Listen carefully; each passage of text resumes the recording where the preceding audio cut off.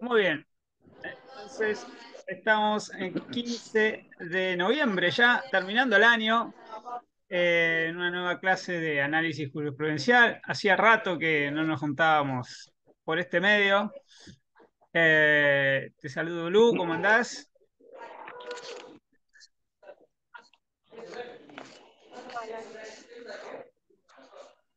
Bien. Y a Mica ya la había saludado y a Jorge. Bueno, em, Jorge nos iba a, a contar de un fallo, ¿era así? Sí, profesor. Como nunca hice la laminita, se la muestro. ¿eh? Pero bueno, me engañó. No la perdimos. La que soy aplicado. Bueno. bueno, pero después le sacás foto y lo mandás. Está bien, está bien. Bien, adelante nomás. Bueno, profesor, eh, buen día. Eh, voy a hablar de, de fallo, eh, de un fallo del 24 de abril del año 2012. las partes serían, son una señora en situación de calle que se identifica con las siglas SYQC. Eh, esta señora se encuentra en situación de calle junto a su hijo, que eh, es menor de edad y padece una encefalopatía crónica eh, a causa de una parálisis cerebral. No, no, tiene movilidad el chico. ella, la otra parte es la ciudad, el gobierno de la ciudad de Buenos Aires y esta señora eh, presenta un recurso de amparo solicitando al gobierno de la Ciudad de Buenos Aires que cese en eh, su accionar o en su conducta de no incluirla en eh, los programas de vivienda o que al menos opte por, por una otra cuestión alternativa para que ella abandone eh, este estado de situación de calle, de vulnerabilidad junto a su hijo. Eh, en, el amparo, ella manifiesta que a la Ciudad de Buenos Aires que se encuentran vulnerados sus derechos eh, a la vivienda, a la salud y a la dignidad. Estos derechos se encuentran consagrados en eh, la constitución local, en la constitución nacional y eh, en los eh, tratados internacionales que están incorporados al artículo 75, inciso 22 de la Constitución Nacional. también dice o manifiesta en, la demanda que de en caso de que la ciudad, el gobierno de la ciudad, le haga efectivo eh, algún dinero, sea por el valor que cubra sus expectativas, eh, que ella necesita una vivienda adecuada para eh, satisfacer sus necesidades junto con su hijo.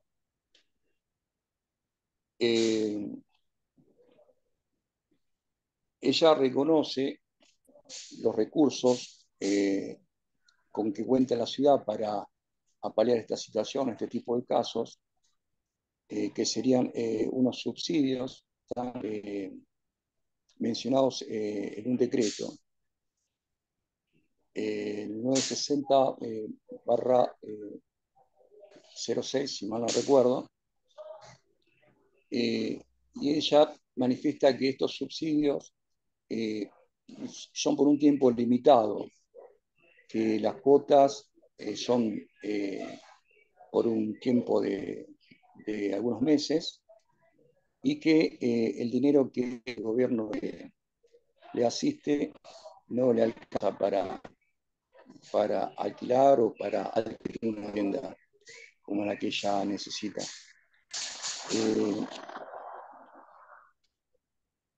Ante, ante ello, la señora solicita una medida cautelar en un tema de protección. Como dice el fallo, eh, se encuentra hasta el tubo. Eh, después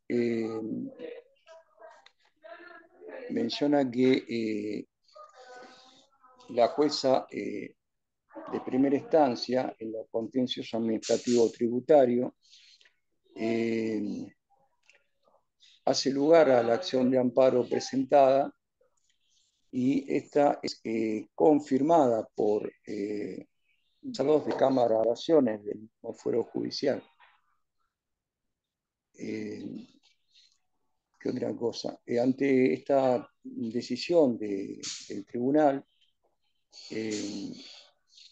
la jueza, la redundancia, ordena que se efectivice un dinero, le ordena a la ciudad que se lo efectivice a la, actora, el dinero suficiente para adquirir la vivienda, dado que considera que los subsidios que otorga la ciudad eh, no son suficientes y no podría eh, remediar eh, la situación de inmediata. menciona que esta medida la han tomado, la han ordenado, hasta tanto aparezcan nuevas eh, circunstancias que, que, hagan definitivo el cese del estado de vulnerabilidad de la, actora. Eh, ante esta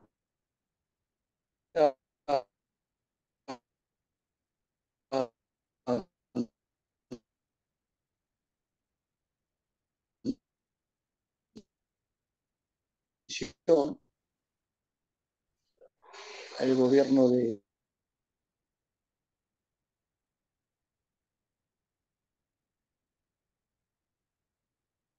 Entrecorta. A ver si lo recuperamos.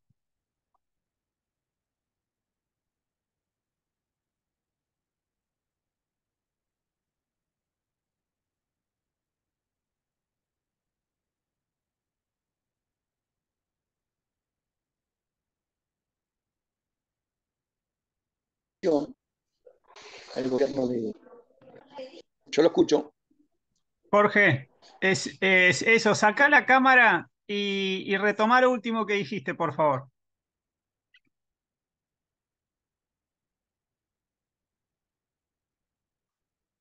¿Me escuchás?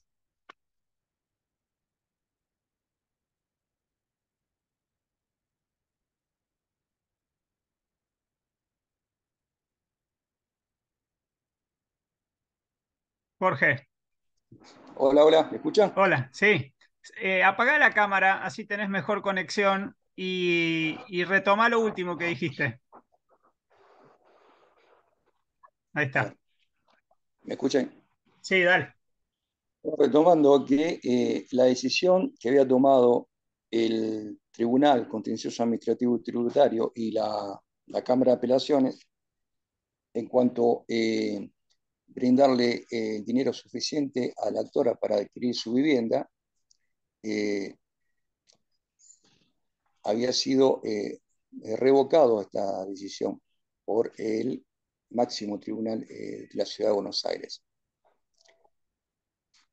Y la causa fue remitida nuevamente a, a la Cámara para que se efectúe, se lleve a cabo un nuevo fallo. Menciona también en otro considerando que eh, como argumento el acubo eh, explica que eh, el, fallo en cuestión, el fallo tratar, que se está tratando, tiene o posee analogía con uno ya tratado y resuelto, denominado Quintana del año 2010, de mayo del 2010. Eh, después eh, prosigue eh, explicando que para interpretar o analizar el grado de responsabilidad que tiene el gobierno de la Ciudad de Buenos Aires en estos casos vulnerables, como el que presenta la, actora, hay que analizar las, las normas de la Constitución local, la Constitución nacional y el PIDEX, que sería el Pacto Internacional de Derechos Económicos, Sociales y Culturales. por supuesto, este, Argentina está adherido a este pacto y el pacto explica que eh, el mismo ordena a los países que han adherido que... Eh, hola, ¿me escuchás? Sí. Sí, sí. este pacto explica que eh, ordena a los países que han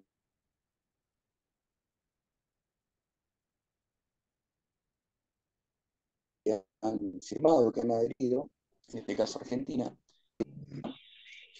no tienen eh, obligación de brindarles eh, una vivienda. Mm. Eh, sí se les ha ordenado que cuenten con los recursos económicos con lo que cada país tiene. Se les ordenó que lleven a cabo, practiquen políticas progresivas o de progresividad en favor del solicitante que eh, en cuanto a la parte edilicia eh, tengan en condiciones eh, viviendas, alojamientos que brinden el mínimo de abrigo. ¿Cómo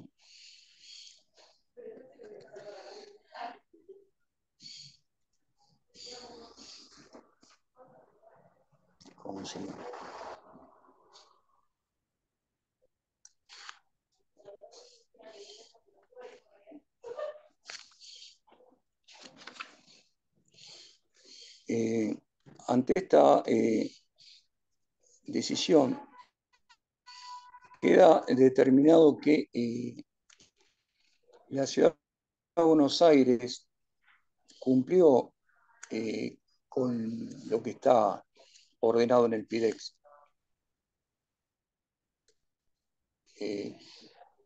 tiene los subsidios y cuenta con recursos económicos, cuenta con eh, albergues y eh, por eso eh, se declara que no es inconstitucionalidad lo normado en este caso por la Ciudad de Buenos Aires. No, tiene responsabilidad, ha cumplido con las expectativas de, la actora.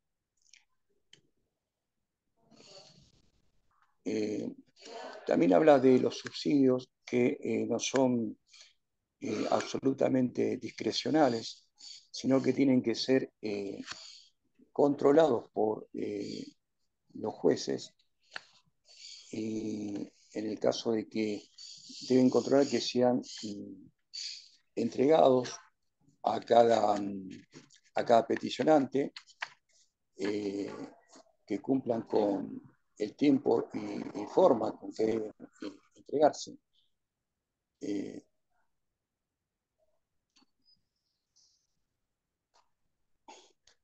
ante esta decisión, la señora la actora eh, interpone un recurso eh, extraordinario que le fue denegado y dio origen a la presente queja. ella eh, expone que el máximo tribunal de la Ciudad de Buenos Aires, al interpretar eh, las normas eh, federales de la Constitución argentina, provocó un vacío en cuanto a, al derecho consagrado que, eh, que tiene eh, el ciudadano eh, en situación vulnerable a eh, acceder a una vivienda. Eh, también la actora reconoce que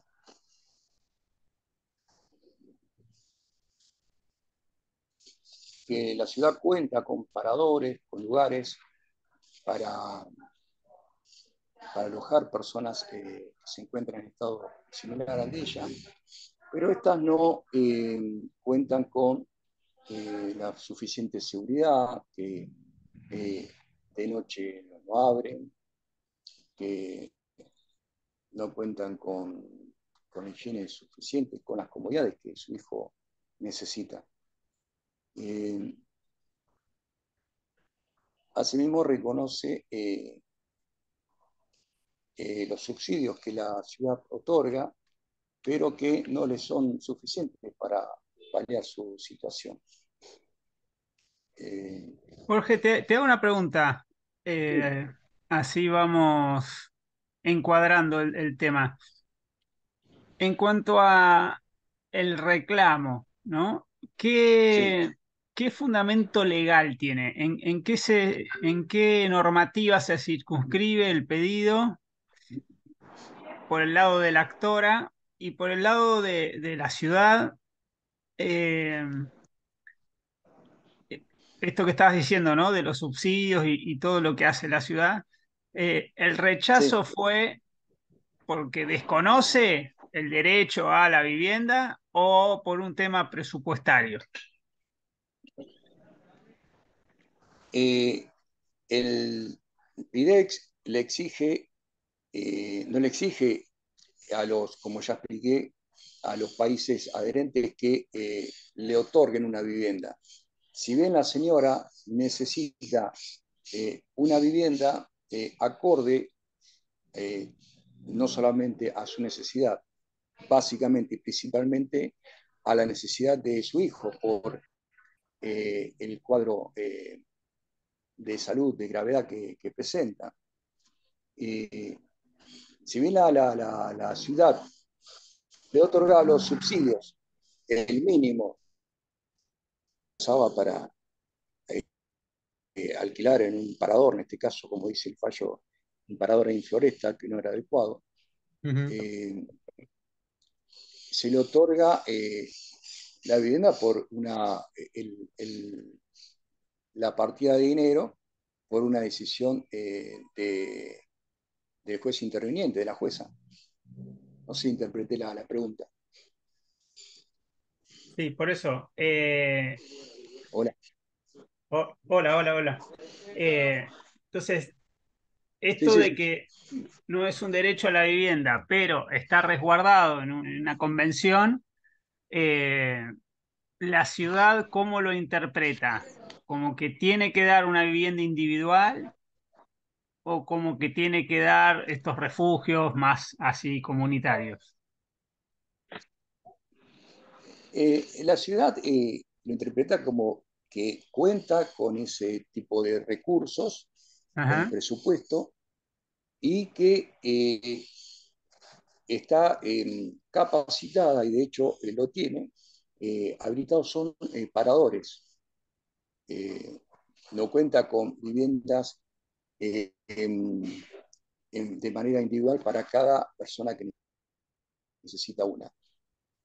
Como más adelante lo explica eh, en otros considerandos, que cuando la, el tribunal dice que cita a las partes a través de la acordada 30 de 2007 eh, donde cada uno eh, de los letrados representantes eh, de la ciudad y de la parte actora explican sus circunstancias y también lo explica la que era en ese momento ministra, la señora Vidal, con todos los elementos que la ciudad contaba y cómo se encontraba limitada para, para por parte del gobierno eh, acceder a este tipo de, de, beneficio hacia, hacia el requiriente. Bien, bien, sigamos nomás. Eh, bueno, el recurso extraordinario que presenta la, actora es eh, admisible porque se encuentran en juego normas eh, federales como el artículo 14 bis y el 75, inciso 22 de eh, la Constitución. Eh,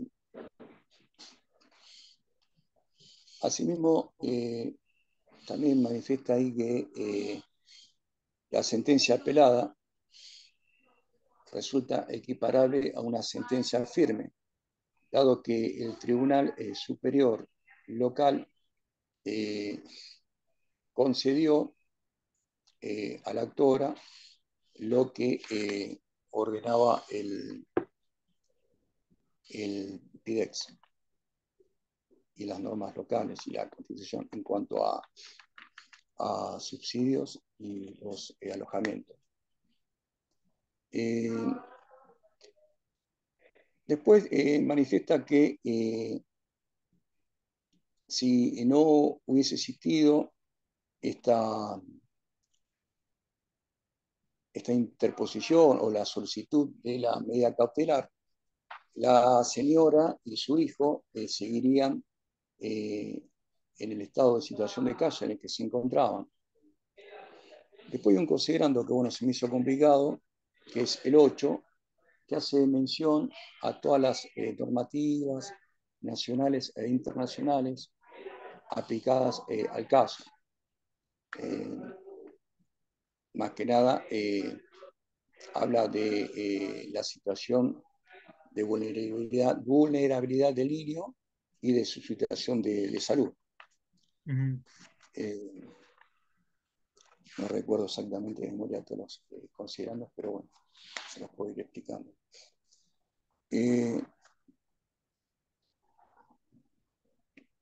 Después habla de eh, todas las normativas intervinientes. Eh, son eh, fuentes que tienen que ver con el derecho de acceso a la vivienda y que no son meras declaraciones normativas, sino que tienen que ser cuestiones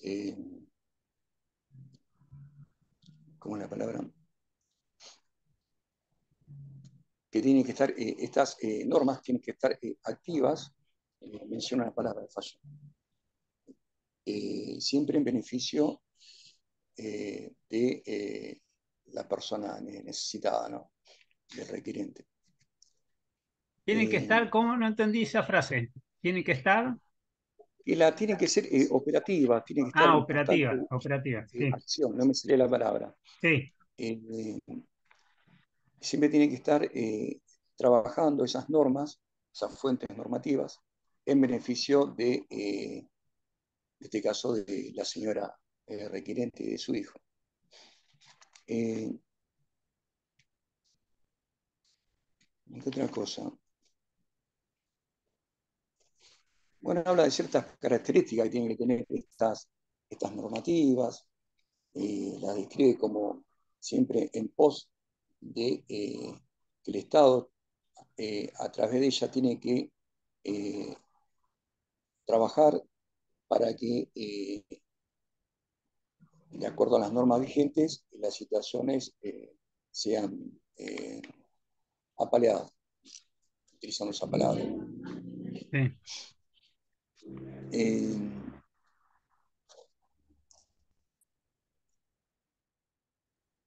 bueno, después a cierta altura, como ya le dije, la ministra eh, reconoce el grado que tiene eh, o el presupuesto que tiene en materia de vivienda, como así con los subsidios que cuenta, y eso en resumidas palabras, eh, reconoce y explica eh, con los elementos que cuenta o que contaba en ese momento el gobierno de la ciudad. Eh, Bueno, después a cierta altura eh, hay un defensor oficial que eh, explica que si bien eh, ingresó un, escrito, una defensa de, en forma extemporánea, describe el lugar donde vivía esta señora con su hijo, describe un inmueble ahí en, Floresta que no era acorde, que no cumplía con las condiciones que él necesitaba. Asimismo, también dice que, eh, que el chiquito se expresaba eh, con, gritos, con chillidos, eh, y que era molestia para el resto de, los ocupantes del inmueble. Ahí vivían otras familias, que la mamá debía hacerle comidas especiales, como picar manzana, papillas, comida toda. No, no masticaba el niño por la dificultad de salud que tenía. Y eh, que necesitaba un ambiente eh, semi-especial acorde a, su situación. Por eso eh, ahí fundamentaba por qué no podía albergarse en un inmueble que la ciudad de Buenos Aires ofrece. ¿Qué otra cosa? Eh, bueno, después, eh, eh, si mal no entendí, él sugiere que el Estado le provea de los elementos, de, los equipos con que cuenta el Estado para, de la ciudad para garantizar que este niño cuando esté solo pueda pueda tener una vida, eh, una mejor calidad de vida. ¿Por qué? Porque la mamá para trabajar o para hacer ciertas cosas constantemente tenía que estar con él y atenderlo y de esa manera no podía eh, solventarse eh, trabajando. A este niño el Estado debía ponerle un equipo profesional, compuesto de psicólogos y demás, para eh, atenderlo. Jorge, hablemos del fallo en sí mismo, ¿no? De la Corte. ¿Quiénes, ¿Quiénes son los votos? ¿Cómo termina saliendo la resolución? ¿Y, cómo quedaría el holding?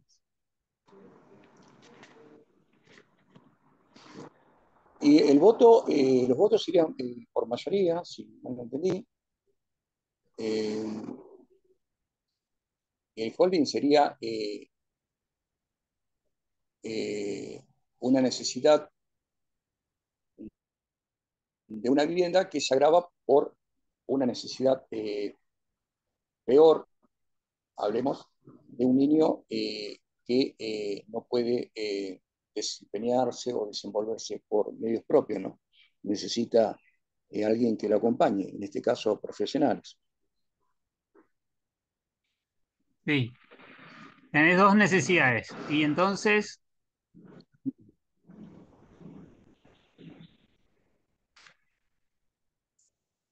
Una necesidad de la vivienda. Una vivienda digna y eh, equiparada para el caso del niño. Y, y la otra necesidad es eh, el cuidado del mismo. Está bien, pero digo, la Corte reconoce las necesidades, que existen esas necesidades. Pero qué, hace con eso? ¿Qué, dispone? ¿Cuál es la resolución? Ah, dispone eh, que brindarle el, equipo profesional con que eh, el Estado cuenta para que se ponga a disposición del niño y de su madre. Bien. A ver, Lu, ¿qué, nos puedes agregar a todo esto? Así lo vamos complementando con lo de Jorge.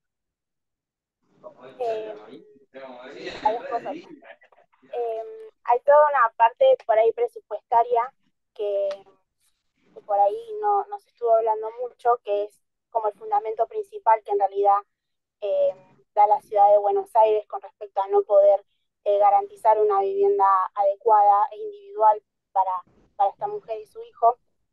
Que es una cuestión, la, la ciudad de Buenos Aires dice que eh, el presupuesto es inelástico y no tiene suficientes recursos para eh, garantizar el, derecho a la vivienda. Y el presupuesto que la Corte va Sí. sí, soy Jorge. No, no, eso lo mencioné con los elementos eh, económicos con el que cuenta la, ciudad.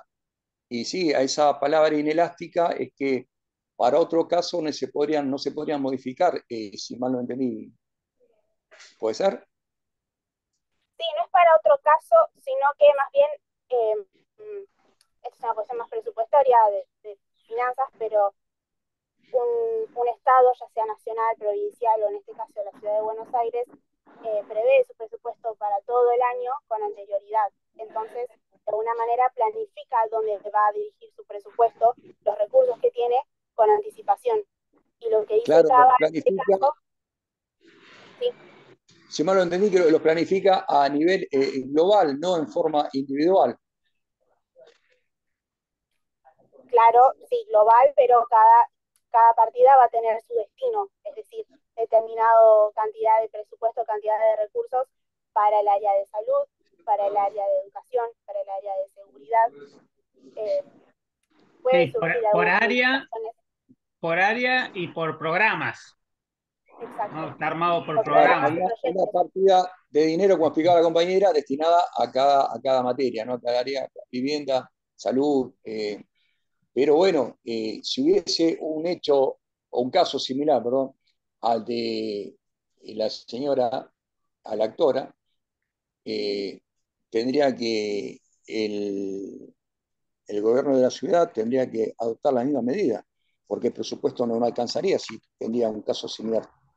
Exacto, es lo que dice, ese argumento que acaba en realidad, que, da la ciudad de Buenos Aires, de que el presupuesto ya está destinado para estos programas y por lo tanto cuando surgen estos casos como el de la señora no pueden atender con, su, con sus recursos, con su presupuesto a ese caso en particular o si surgiera otro de la misma manera, porque justamente no, tienen los recursos para eso porque ya están destinados. Es, lo que dice, es el argumento de Cava. Eh, sí, en el fondo el problema no es solucionar este caso, sino el efecto multiplicador. Exacto. le abrís la puerta y Claro, porque en un caso similar, eh, el juez interviniente tendría que actuar eh, o decidir de la, misma, forma. No va a contar con eh, los subsidios y con los programas habitacionales que, tenga Cava en este caso. Va a tener que resolver de otra manera. Como dice, hasta tanto no aparezcan nuevas circunstancias, va a tener que otorgar un dinero exclusivo para que esta gente tenga no una vivienda propia, pero una vivienda alquilada eh, adecuada a las circunstancias. Bien. Claro, pero la, la, Corte por ahí lo que, lo que dice con respecto a este argumento del presupuesto inelástico es que de todas maneras, por más que se tenga un, presupuesto que no se puede modificar del todo, que no puede ser del todo discrecional, se deben usar los máximos recursos posibles para poder garantizar este derecho en este caso de la vivienda, pero por lo menos a nivel mínimo garantizar a todos el, mismo nivel de, derechos. En la, apelación, la actora lo que manifiesta, bueno, no lo dije en su momento, fue que ella consideraba que eh, el gobierno de la Ciudad de Buenos Aires no había eh, eh, evacuado o había puesto el mejor de los esfuerzos para solucionar su problema y que no había eh, demostrado eh, eh, fehacientemente el grado de no poder hacerlo, ¿no? Económicamente. Sí, exacto.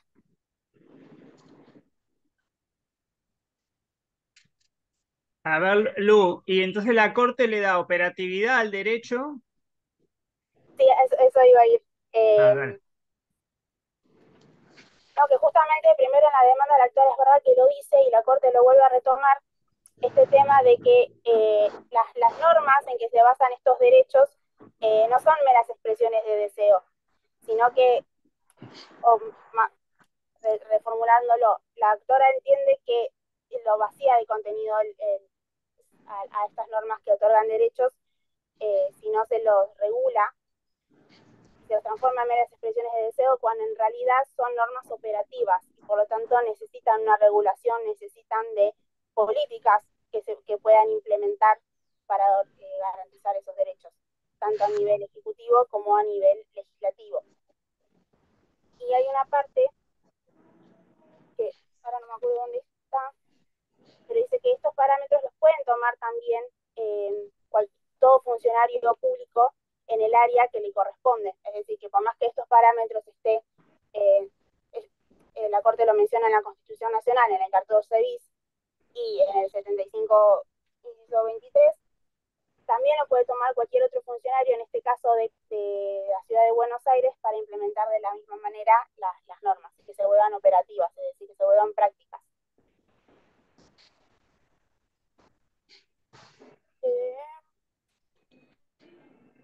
Quería leer una parte, pero la perdí. Bueno, no importa. Podemos ir a las normas operativas. Eh, la, corte, la Corte en este sentido también dice que hay una operatividad derivada y no directa, porque es justamente lo que estábamos hablando hace un ratito. Es una operatividad directa habilita que cualquier persona en esa misma situación pueda acceder ante la, la justicia y reclamar por, en este caso, una vivienda adecuada o una vivienda eh, específica para sí misma, cuando en realidad no se trata de ello, sino de una operatividad derivada. Es decir, que eh, la, los esfuerzos que haga un Estado para poder garantizar esos derechos tienen que estar controlados por el Poder Judicial, pero no habilita una vía directa, digamos, de, reclamo que cualquiera puede reclamar eh, por, por los derechos, digamos. Bien. Eh, eh, y que justamente esa operatividad es una obligación que tiene el Estado de hacer, es decir, eso que, decía antes, que mencionaba, de, de, implementar políticas públicas eh, al respecto y que de esa manera propensa la progresividad de, garantizar esos, derechos y no la regresividad. ¿Cómo sería eso de progresividad y regresividad? no, no me acuerdo si lo había mencionado antes. Justamente uno de los, de los tratados que más se mencionan en este, en este fallo eh, es el Pacto Internacional de los Derechos Económicos, Sociales y Culturales, eh, y hay un artículo muy, muy, digamos, relevante, que es el principio de, de progresividad y no regresividad. ¿Qué pasa? Se entiende que eh, los recursos de cualquier Estado son finitos y no pueden garantizar eh, para toda la población en el mismo momento el mismo nivel de derechos o de oportunidades para todos. Entonces, la idea es que los estados que, eh, digamos, adscriben a este tratado eh, lleven adelante el principio de progresividad y no regresividad, que significa que eh, den los el máximo esfuerzo posible con los recursos disponibles que tienen para que el nivel general en la sociedad pueda mejorar y puedan todos obtener eh, los derechos de una forma progresiva y no realizar acciones eh, que lesionen esos derechos ya obtenidos o ya garantizados, sino que siempre se trate de poder aumentar eh, el nivel de derechos otorgados, pero nunca de volver hacia atrás, digamos, que nunca sea regresivo para, para ningún, ninguna, ninguna persona en particular. Es por eso que también cuando habla de la operatividad, eh, habla de que hay un criterio de razonabilidad también que se debe tomar en cuenta. Están considerando 12. Sí, lo puedo leer. Sí, adelante. Dice, eh, lo razonable en estos casos está relacionado con el principio que manda a desarrollar las libertades y derechos individuales hasta el nivel más alto compatible con su igual distribución entre todos los sujetos que conviven en una sociedad dada, así como introducir desigualdades funcionales con la finalidad de maximizar la porción que corresponde al grupo de los menos favorecidos. estos principios de igualdad democrática y de diferencia con finalidad tuitiva de los sectores excluidos deben ser respetados por quienes deciden políticas públicas. Es decir, pueden haber determinadas desigualdades en pos de que otros sectores de la sociedad en situación mucho más desfavorable puedan tener sus derechos, por lo menos a nivel mínimo, garantizados. Esta finalidad tuitiva que se hace, es decir, eh, una, con el objetivo de proteger a quienes están en una situación mucho más desfavorable o en situación de desigualdad. De, quién tiene esta finalidad, quién debería tener este objetivo, bueno, quienes están encargados de realizar políticas públicas a su efecto, justamente. Y en eso, en el, en el mismo considerando, habla de las garantías mínimas. Esa es la razonabilidad que tiene que tener en cuenta para, tener en cuenta estas desigualdades que, que hay en la sociedad que por lo menos todos tengan eh, un cierto nivel mínimo de derechos eh, garantizados. Más allá que después, eh, en, una fase ulterior, puede haber diferencias o puede haber otro tipo de desequilibrios o desigualdades. Por lo menos hay que tener unas garantías mínimas que todos, como ciudadanos y como personas dentro viviendo dentro del mismo estado, debemos tener como garantizados que la vivienda eh, digna y, la dignidad sobre eso y la salud tienen que ser una garantía mínima de protección. Y justamente esta garantía mínima es el límite a la, la, perdón, a la discrecionalidad que tiene un Estado, ya sea nacional, provincial o local, eh, para organizar su presupuesto, porque el presupuesto eh, depende meramente del Estado mismo y de las decisiones que tomen sobre ese presupuesto, justamente porque es limitado. Entonces, en ese sentido, hay una discrecionalidad, se dice, de poder decidir dónde se destina ese presupuesto, a qué áreas, a qué programas eh, la cantidad, digamos, de, esos recursos. Eso no se está cuestionando, ni en este fallo, ni tampoco lo está cuestionando la actora eh, en su demanda, en su amparo, sino lo que se está diciendo es que esa discrecionalidad debería tener una limitación, es decir, poder garantizar a todos ciertos niveles mínimos de derechos. Entonces, a partir de ahí se puede eh, decidir sobre el resto del presupuesto, pero por lo menos se debe garantizar como mínimo eh, determinadas circunstancias o determinados derechos. Y dentro de eso, eso, es lo que se suele llamar una cuestión política no justiciable, porque queda en el ámbito de eh, en el ámbito de reserva de la administración, que son facultades propias del sector político, de la administración pública, y, bueno, y la justicia no se puede entrometer ahí, en principio. Es, es un arma doble filo, porque también es como un argumento que utiliza muchas veces el mismo Estado, digamos, a nivel eh, administrativo para decir, bueno, los recursos yo los destino de esta manera, eh, y es una cuestión no judicial en ese caso, pero bueno, la Corte, no solo en este caso, sino en muchos otros fallos, también dice, bueno, pero los recursos son finitos, es una facultad discrecional del Ejecutivo, pero a la vez hay que garantizar determinadas circunstancias o determinados derechos para todos. Y no puede deshacerse o, o desentenderse de esa obligación. Luego, ¿y ese contenido mínimo tiene parámetros objetivos? Estaba buscando. Em, bueno, hay una parte que, que, esto ya creo que Jorge lo mencionó yo también, esto de aprovechar los máximos recursos disponibles. Puede ser discrecional y se puede, eh, digamos, atender a estas necesidades, pues a todos los recursos disponibles para ello.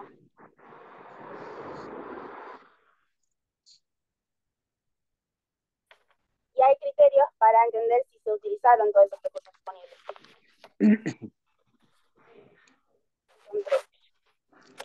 Eh, el primero es el nivel de desarrollo del país, como son parámetros para tener en cuenta los, recursos que existen. El primero el nivel de desarrollo del país. El segundo, la situación económica del país al momento de eh, determinar la disponibilidad del recurso.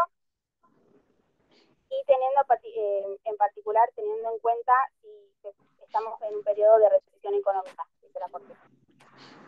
Y, el Estado intentó encontrar opciones de bajo costo. Y acá van a hacer también en, en el fallo, eh, prestar bastante atención a lo que es eh, encontrar opciones de bajo costo, porque lo que se dice más adelante es justamente que la opción que, que eligió en este caso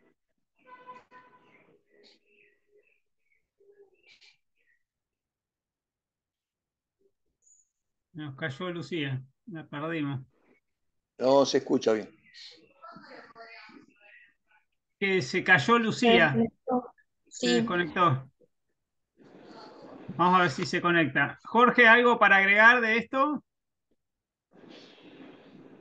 De esta parte final. No, que, como decía la compañera, hay que la, ley, en este caso lo que exige eh, el PIDEC tampoco es tan eh, verticalista, es, flexible. Habla eh, de, las situaciones económicas en que se encuentre cada eh, país firmante, ¿no? Para apalear una situación similar. No, no está exigiendo algo que no pueda cada Estado. ¿Está mal? Bien, y y esa flexibilidad... Eh, lo, único, lo, único, que menciona, disculpe, profesor, es que deben poner, eh, utilizando mis palabras, eh, la voluntad máxima o necesaria hacer esfuerzos. Habla de políticas progresivas, pero no que está diciendo tienen que construir un chaledo a dos aguas por cada persona que solicite una vivienda. Ah. Qué lindo sería. Sí, sí. ¿Y, que, ¿Y habla de viviendas populares, algo así? ¿Esto de bajo costo? Habla de mínimos, eh, dice que debe brindar el mínimo abrigo. Ajá. Eh, no, no, no hace una determinación, una clasificación o una caracterización de, cómo tiene que ser la vivienda a, alquilar en este caso. Únicamente habla de, paradores y describe ahí en el fallo eh, las condiciones en las que están los, paradores. No son las, las mejores.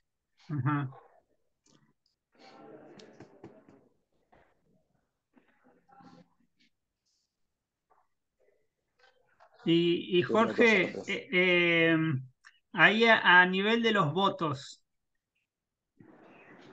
eh, en la parte resolutiva, ¿quiénes votan? Hoy dijiste un voto mayoritario. ¿Quiénes votan de una manera o de otra? ¿Qué tipo de votos encontrás? Bueno, se lo leo un poquito. Dice, agréguese la queja al principal. Notifíquese y oportunamente remita a Ricardo, Ricardo Luis Lorenzetti, Elena Hayton de Nolasco, Carlos Fay, Enrique Santiago Petracci, según su voto, Juan Carlos Maqueda y Raúl Zaffaroni, Carmen Aikibay, según su voto. bueno, puede hacer las aclaraciones eh, de cómo llegan a, eh, eh, en qué difieren y en qué no, en qué están de acuerdo, de qué considerando a qué considerando con, con el fallo. Ahí volvió Luz, la recuperamos. Bueno, ahí estaba diciendo Jorge Lu, estaba diciendo que hay dos votos propios. ¿Qué, agregan diferente? No mucho, sinceramente. Eh, tenemos, tenemos a Petraki y a Ibai, dos votos. Eh, y hablan bastante de lo mismo por ahí de tracking eh, habla también de una discrecionalidad que tiene el Estado, eh, pero que eso no puede ser tampoco argumento para justamente no garantizar estos, parámetros mínimos de derechos que, como Estado están obligados a garantizar. Eh, hace un análisis también eh, en uno de los considerandos sobre si cada cumplió con esos parámetros mínimos eh, y bueno, justamente ahí en ese considerando que es el 12, eh, dice que, los programas de vivienda que tiene eh, la ciudad de Buenos Aires no cumple justamente con esas garantías y con, la destinación de, ese presupuesto, porque justamente no tiene un, programa específico para personas en situación de calle. Entonces, claramente nos está observando a ese grupo que está en una situación de mucho más extrema vulnerabilidad y que necesitan de por ahí eh, un programa específico, una atención específica. Y claramente de esa manera, si tuvieran un programa específico, es una forma de, destinar el presupuesto eh, directamente a, a, ese grupo en situación de mucha más vulnerabilidad y de ese modo garantizar justamente esos eh, la alternativa a, estos programas, que, no hay programas de vivienda específica, es justamente eh, el subsidio que Jorge mencionaba también del decreto 690, que no es suficiente porque es temporal por seis meses con una pequeña prórroga de cuatro meses más. Entonces, justamente tampoco es específico para situaciones, eh, para personas en situación de, calle. Eh, diez meses por ahí no pueden solucionar este problema que generalmente viene desde hace mucho antes y que no otorgan eh, tampoco el acompañamiento específico para que puedan. No justificaban los pocos recursos que eh, con el que cuenta. Eh.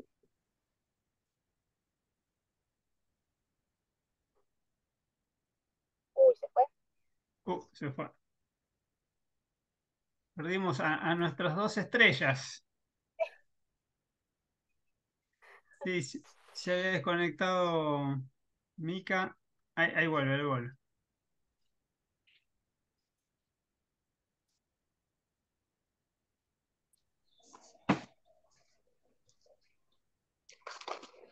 ¿Viste, Jorge?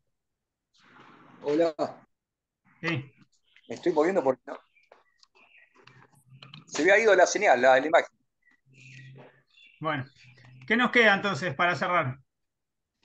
¿Cuál sería el holding, Lu? ¿Cómo lo armarías? Bueno, yo creo que. me quedé con un, par de cosas que, dijo la corte que, por ahí eh, que resonaba más. Para mí el, el holding está casi a lo último antes de la resolución. Lo perdí. paso al leerlo, o lo podemos armar de alguna manera, eh, justamente que aunque los recursos sean finitos y que un Estado no puede entenderse de esas garantías mínimas que debe eh, proporcionar a todos los, los, ciudadanos, justamente. considerando 17, que dice, eh, corresponde señalar que los derechos fundamentales que consagran obligaciones de hacer a cargo del Estado con operatividad derivada están sujetos al control de razonabilidad por parte del Poder Judicial. Ello significa que, sin perjuicio de las decisiones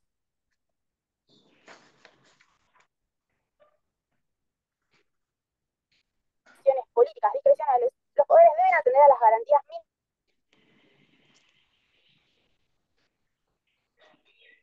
indispensables para que una persona sea considerada como el de todo, porque también habla, hace como un resumen de todo el fallo la derivada, habla de los recursos finitos, de la disponibilidad del Estado, pero justamente todo eso tiene que ir en función de, por lo menos las garantías mínimas.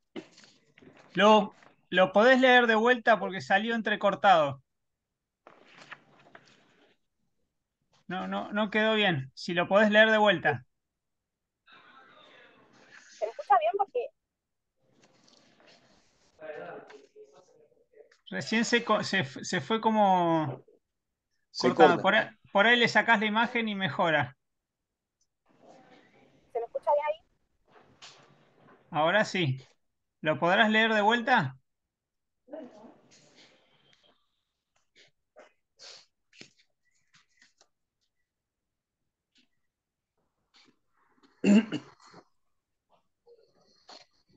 Ahora, ahora te vemos.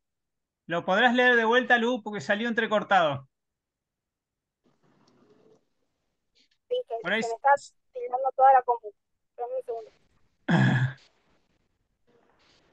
Por ahí sacarle la imagen, así mejora. Estaba intentando, pero no, no podía, por eso. Ahí está. ¿Me escucha bien? Sí. Ahí sí. Bien. Bueno, considerando 17, lo que dice es que a modo de conclusión, corresponde señalar que los derechos fundamentales que consagran obligaciones de hacer a cargo del Estado, con operatividad derivada, están sujetos al control de razonabilidad por parte del Poder Judicial. Ello significa que, sin perjuicio de las decisiones políticas discrecionales, los poderes deben atender a las garantías mínimas indispensables para que una persona sea considerada como tal en situaciones de extrema vulnerabilidad. Bien, vamos a diseccionar ese párrafo porque es muy, muy interesante eh, para ver el alcance, ¿no? Y cómo está construido. Vamos a repetirlo de a poco, Lu. Dale. Corresponde señalar que los derechos fundamentales que consagran obligaciones de hacer Momento, de- ahí, ahí. Derechos fundamentales. Los derechos fundamentales sabemos que están al principio de la Constitución, entre el 14 y el 20, y después que se complementan con todos los convenios internacionales de, de- de derechos humanos a los cuales nuestro país le ha dado jerarquía constitucional. Primero, saber que esos derechos, ¿vieron la, la- la frase donde hay una necesidad y un derecho? Pero que uno tenga un derecho y que se lo reconozcan es la mitad del problema. La otra mitad es quién hace algo para que ese derecho se pueda ejercer en la práctica. Entonces, sin un deber por parte de una autoridad o de un tercero, no hay derecho que, eh, que esté garantizado. Entonces, acá la Corte se ocupa de decir que hay una obligación de hacer por parte del Estado, en este caso del Estado de la ciudad, para garantizar ese derecho fundamental. ¿Qué más dice? Operatividad derivada. Bien, eso ya lo explicamos, que, que es un derecho operativo. ¿Qué más? Están sujetos al control de razonabilidad por parte del Poder Judicial. Bien, stop, ahí. Entonces, para, y seguía lo de, lo de cuestión política, ¿cómo era? Ah, eso sigue después. Dice que ello significa que, sin perjuicio de las decisiones políticas discrecionales, Stop. Entonces, ahí, ahí tenemos el límite a la actuación judicial, cuestiones políticas no ju- justiciables, pero hay una ventanita por donde se mete la justicia, ¿no? Haciendo el control de constitucionalidad, que es algo que hemos visto muchas, muchas veces en los fallos, el principio de razonabilidad. Entonces la Corte va a decir, mirá, que yo te voy a dejar hacer, ¿no? Al Estado, pero te voy a controlar la razonabilidad de tus actos, ¿sí? La relación medio-fines y todo, toda la, composición de ese principio que lo hemos visto varias veces. Eh, o sea, eso sí te lo voy a controlar. ¿Y qué más decía? de las decisiones políticas discrecionales, los poderes deben atender a las garantías mínimas indispensables para que una persona sea considerada como tal en situaciones de extrema vulnerabilidad. Bien, a eso es importante. Cuando leí, el Estado tiene discrecionalidad. La discrecionalidad no tiene que ser interpretada como arbitrariedad. Arbitrariedad es actuar por fuera de una norma, algo arbitrario. La discreción para el Estado es entre una, dos, tres y cuatro alternativas que están todas dentro de una norma, elijo la dos o elijo la cuatro. Y no tiene que dar mayor fundamento de por qué lo hace, ¿sí? Es una decisión política, lo que llamamos oportunidad, mérito y conveniencia de una decisión política. Bueno, eso queda a una esfera de la política, de la administración. Esa es la discrecionalidad. Acá la Corte le reconoce esa, ese ámbito de discrecionalidad al gobierno de la ciudad, pero le fija un límite. A través del principio de razonabilidad, lo que le dice es, mire, todo lindo, su presupuesto, sus planes, programas, ¿sí? Pero usted tiene que garantizar, como decía, un piso mínimo, como dijo. Eh, garantías mínimas, indispensables. Garantías mínimas, pero fijémonos el final, porque es como que la Corte esperó a tener un caso ¿no? que le permitiera decir esto. No es a cualquier persona a la que le van a dar una, una vivienda, sino, eh, como decía, extrema vulnerabilidad. Permanentemente va a controlar la discrecionalidad.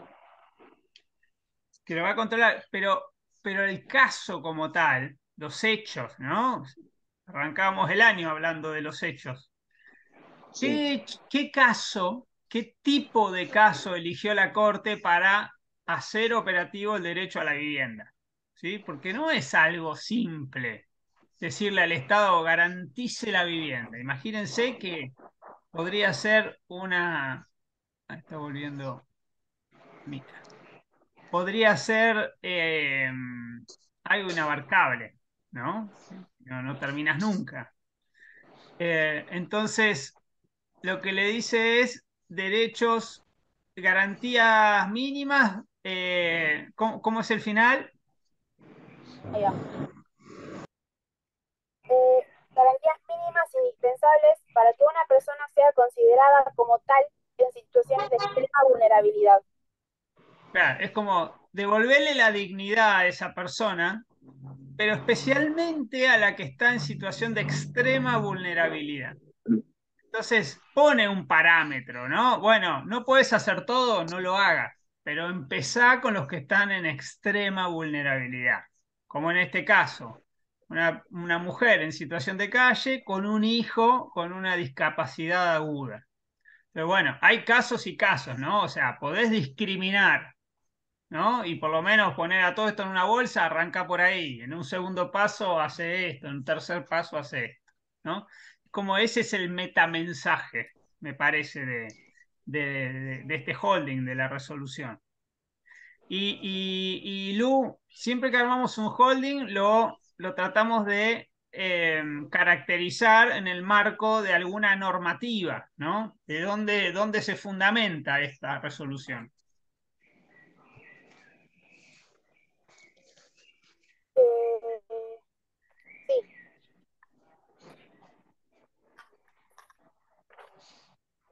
La normativa en realidad son todos los, los tratados internacionales eh, y en la Constitución Nacional el artículo 14 dice justamente sobre seguridad social. Pero es importante porque a veces nos parece que los tratados solo te traen principios, viste, orientativos. Y en este caso la Corte los hace carne. Es decir, los toma y dice, che, esto es operativo y empezá a cumplirlo. No sé, tráeme un plan, decime cómo lo vas a hacer como dijo en la causa Mendoza para la limpieza de Riachuelo. Bueno, armá un ente, ponele guita, presupuesto, tráeme un plan de acción de cómo vas a ir avanzando. Pero está, es interesante ver que el fundamento son directamente los, los, los tratados internacionales. O sea, el efecto que ha tenido incorporar eso a la Constitución en la última reforma. Eh, el efecto práctico, digo, ¿no? Acá se empieza a manifestar. ¿De qué año es el fallo, decíamos? 2012, profesor. 2012, bien. Fueron años dorados para esa corte, ¿eh? ¿Cómo la extrañamos? Eh, bien, ¿Argibay algo que haya agregado que siempre le ponía una pincelada propia? bueno, primero estuvo ¿no? considerando, relatando los hechos en realidad que ya los habíamos visto, pero bueno. Eh, y algo al final. Justamente con esto de, de, la, de la expresión de vulnerabilidad, en realidad ella hace especial foco en que ellos están en, en extrema vulnerabilidad directamente. Eh, y en el considerando 11 lo que dice es eh, que la ciudad debió haber tratado a la actora y a su hijo de un modo distinto al establecido en el régimen general, digamos, de los programas y los presupuestos que tienen con respecto a vivienda en este caso, porque justamente es una conjunción de situaciones que lo llevan a esa extrema vulnerabilidad. La situación de calle, la discapacidad, el hecho de que se trata de niño, eh, hace todo eso una extrema vulnerabilidad. Y de modo tal que resulta irrazonable incluir a la señora y al niño dentro del mismo grupo en el que se encuentran otras personas sin discapacidad a los efectos de aplicar a todas idénticas restricciones presupuestarias. Es decir, es básicamente lo mismo que veníamos hablando antes. No pueden eh, escudarse en el presupuesto, en este caso, porque no estamos hablando del mismo grupo de personas, sino de un grupo en extrema vulnerabilidad. Fíjense, esto de, cuando hablamos de grupo, hablamos de discriminación. Es, decir, es armar conjuntos, bolsas y meter adentro según ciertas características que comparten los elementos, ¿no? Los, los, este, los casos que yo voy a meter ahí. Entonces es como, bueno, vas a tener algunos que son de extrema, extrema, extrema vulnerabilidad. Otros que están un poquito mejor, otros que van a estar más arriba. Bueno, hace esa segmentación eh, y empezá a ocuparte de los más graves. No podés mezclar. Según el caso, le da el tratamiento que necesita. Claro, pero además, cuando vos mezclas todo, amplias tu universo y te da un argumento para decir, ah, yo todo esto no lo puedo hacer, no tengo presupuesto. Ahora, si vos empezás a segmentar, podrías decir, bueno, de estos me ocupo con el presupuesto que tengo, de lo otro voy a buscar una partida, de lo otro, no sé, voy a ir a la legislatura a sancionar un programa específico. Sería más fácil administrar el presupuesto, profesor. Sí, con diferentes programas, con diferentes tipos de soluciones. O sea, algunos necesitarán acceso a un alquiler popular o un alquiler subsidiado. Otros necesitarán, eh, no sé, diferentes tipos de soluciones. No tiene que ser una única solución. Eso me parece, me parece piola de, cómo lo remarca ahí el voto justamente en el considerando siguiente dice que en este caso la ciudad de Buenos Aires se limitó a ofrecer las mismas prestaciones que al resto de los residentes de la ciudad, cuando no es equiparable a una persona que está en otro tipo de situación, y por ahí ya tiene una vivienda y quiere otra o quiere mejorar con una, persona en situación de calle con un niño eh, con discapacidad en este caso. Bien, Perfecto. ¿Algo que nos quede, Jorge? Ahí en tus, en tus filminas, en tus afiches. Eh, acá puse los artículos que se utilizaron, los que estaban vulnerados. Eh, bueno, la presentación, el título, el 31 de la Constitución de Cava, eh, que determina el decreto 690-06, bueno, mucho más no. ¿Qué dice ese artículo 31?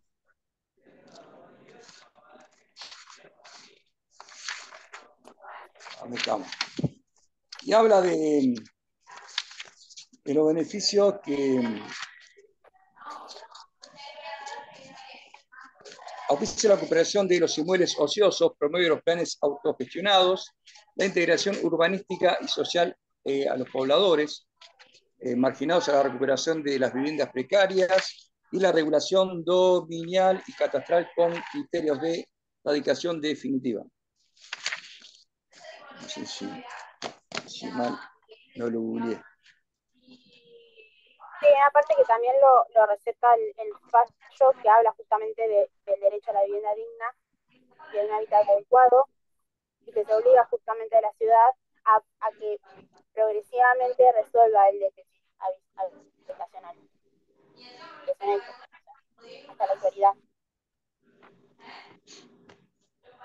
Bien, y para cerrar, este es un fallo que remite a lo que eh, se llama la teoría eh, del análisis económico del derecho, que tiene que, eh, que está centrado en ver qué efectos económicos tiene una sentencia. ¿Sí? Pareciera que dictar una sentencia es simple, es algo gratis, nada, saco una sentencia y se acabó, pero después puede tener un efecto multiplicador enorme, ¿sí? porque no solo estoy resolviendo el caso, sino que, como dice la Corte, casos sustancialmente análogos ¿sí? pueden tomar ese antecedente. Esto se ve claramente en todo lo que tiene que ver con seguridad social. ¿Sí? Cuando vos resolvés un caso de un jubilado, estás resolviendo miles. Si vos das un ajuste a un jubilado, caso Badar unos cuantos de esos que, que marcaron época, eh, o cuando resolvés temas económicos de, Corralito, de los Bonex, esas cuestiones para la administración tienen un efecto enorme. También podemos agregar temas de coparticipación con las provincias. ¿sí? Un fallo te puede dar vuelta una administración. Profesor. Sí. Perdón que lo interrumpo, una preguntita antes de que se me escape.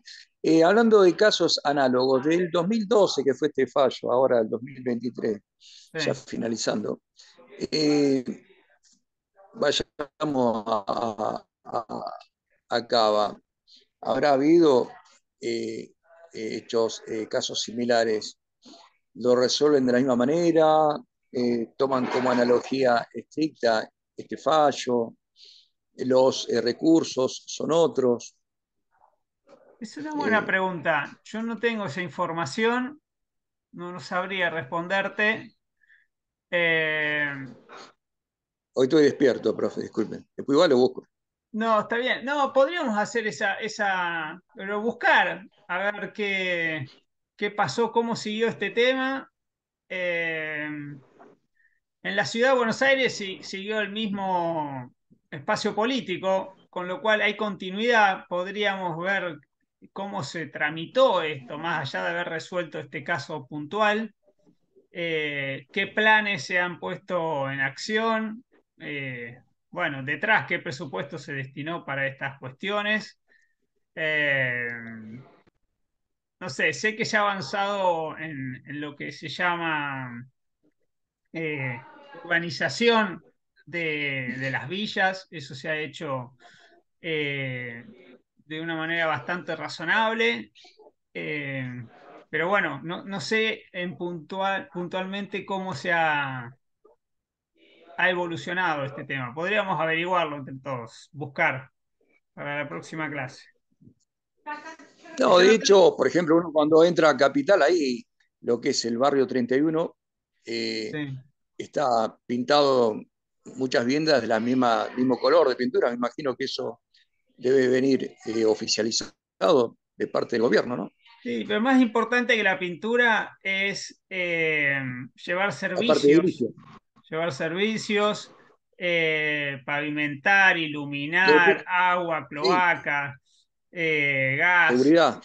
Sí, seguridad, todas esas cuestiones para, obviamente. No, lo puse como ejemplo de lo que uno ve de afuera cuando va por la avenida. Sí. Sí. Eh, pero eh, es cierto que hay como un sesgo, y esto más a nivel nacional que, alojado en la ciudad de Buenos Aires, de que el Estado debe construir viviendas, ¿no? Populares, barrios populares, Renavap, etc. Eh, y eso no está mal, pero no debería ser la única solución, la única respuesta, ¿no? mucha gente lo que quiere es poder alquilar y vivir tranquilo con eso. Entonces, eh, en lugar del Estado construir y dar una casa, eh, bueno, podría construir para vivienda, ¿no? Hacer edificios y ofrecerlos a una vivienda a precios razonables. alquileres razonables. Eh, un plan de vivienda con cuotas plan de vivienda en cuotas o dar un terreno y que cada uno se construya. Bueno, hoy es un drama, la verdad. No solo el alquiler, sino este, acceder a un crédito eh, inmobiliario, ¿no? Eh, y se evitaría, profesor, las usurpaciones de terrenos, de casas, hasta a veces con ocupantes. Sí, y hemos visto, hace poco se enseñó una nueva ley de alquileres, o sea, es un drama para un, porcentaje enorme de gente de, este, en todo el país por los valores que están adquiriendo.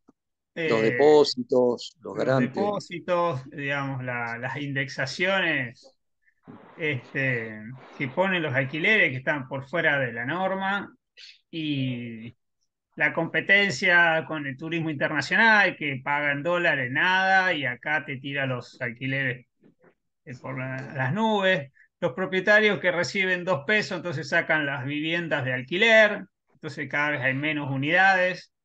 Eh, es todo una problemática el tema de la vivienda, eh, tal vez más profunda de lo que uno lo ve a simple vista. y por otro lado, el Estado no puede hacer todo.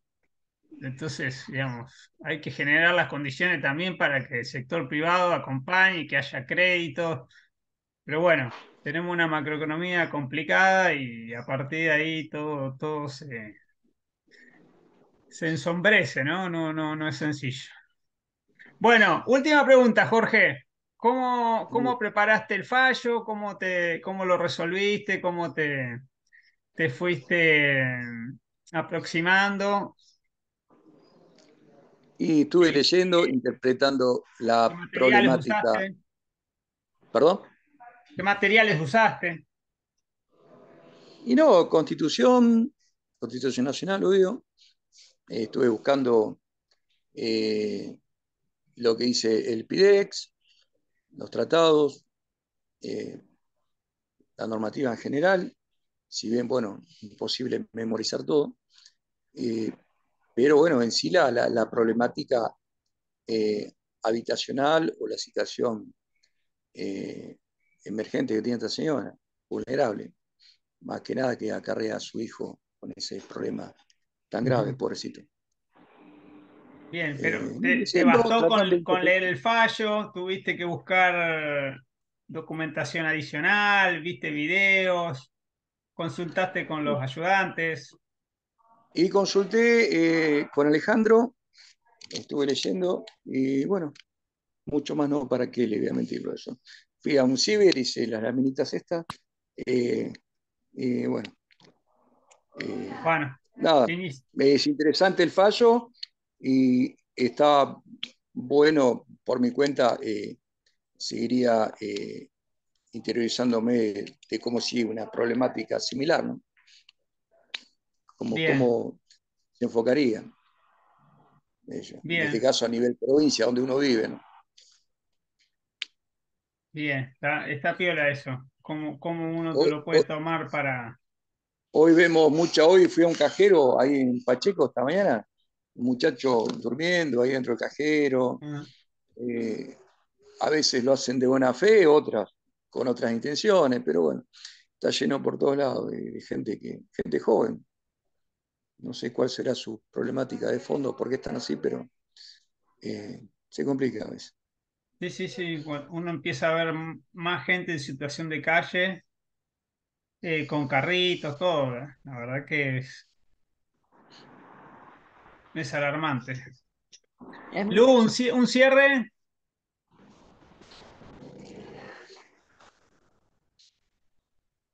Quería prender el micrófono. Eh, un cierre.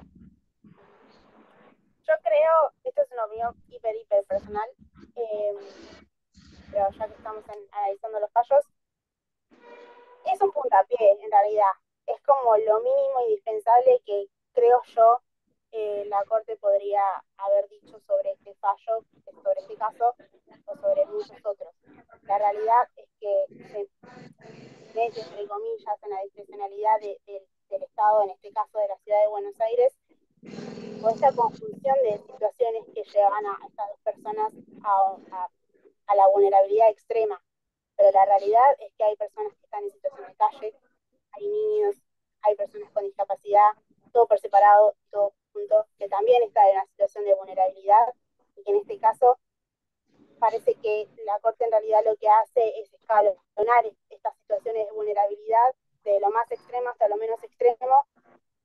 Lo que hace en realidad es, que se puedan gestionar los recursos para esas personas que obviamente lo necesitan, que están en extrema vulnerabilidad, pero hay otras personas, otros grupos que también lo están y también deberían de atenderse. Una opinión hiperpersonal, no está mal lo que, lo que se hizo claramente, pero podría haber sido mucho más, porque nada, se atiende en este caso justamente porque se trata de muchas vulnerabilidades todas juntas, lamentablemente. Eh, bueno, la, vulnerabilidad no solo es la conjunción de cosas. Eh, y por otro lado, nada, que por ahí me olvidé de, mencionarlo, pero eh, la, la, Corte también lo dice, cuando se trata de los recursos y que se, se utilizan de la mejor manera posible, es también a tener en cuenta esta situación, porque justamente lo que dice es que en, este caso la ciudad de Buenos Aires está destinando recursos que es justamente por la medida cautelar, eh, pagándole un hotel a, esta madre con su hijo, que no cumple con las condiciones necesarias para que puedan vivir de una manera adecuada, eh, teniendo en cuenta que, es, un niño, que, está, que tiene una discapacidad.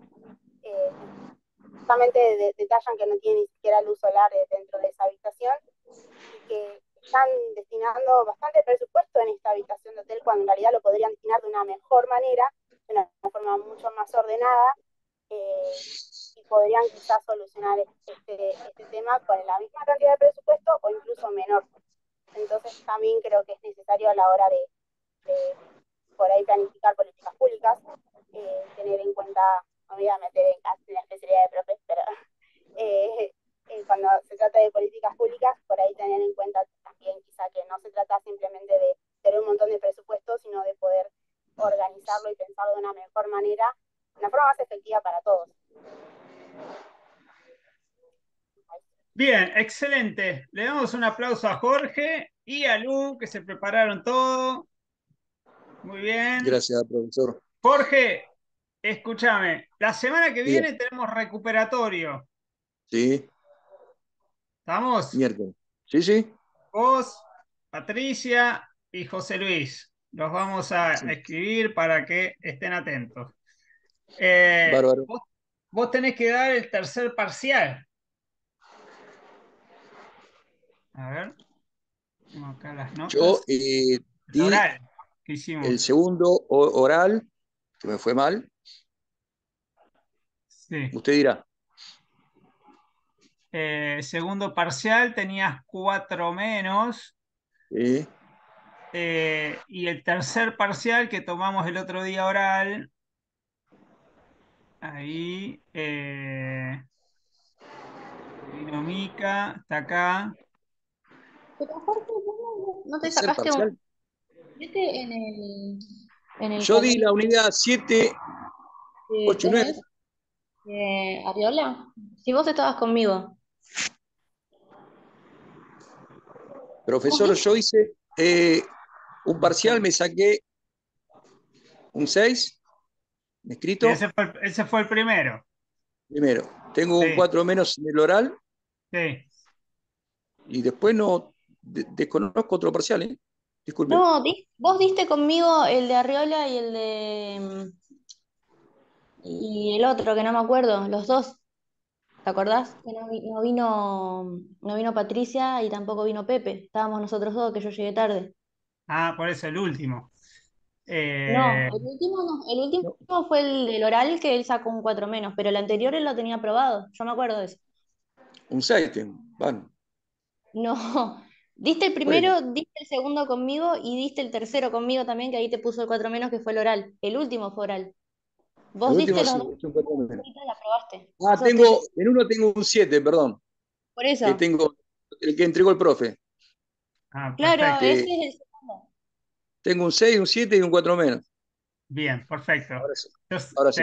tenés, que. Mm, Recupera el último. Que voy a. Eh, que tenía dos bases, dame un segundo. Gracias, Mica. No, por favor.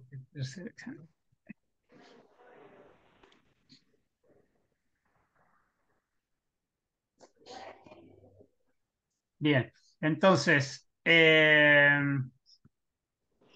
bueno, entonces te queda eh, recuperar ahí el tercero. Eh, voy a voy a llevar un, un, examen escrito para quienes quieran dar escrito y si lo quieren hacer oral, hacemos oral, así no tienen problema con eso. ¿Estamos? Está bien, profesor, como usted diga. Bueno, escuchen, eh, hacemos un break de 10 minutos. ¿Sí? Sí. Volvemos, son 10.45. Eh, volvemos 11 menos 5 y vemos Coihue y damos fin a este largo, largo, largo, largo año. ¿Te parece? Listo, profesor. Bueno, Acá profe. esperamos. Esta grabación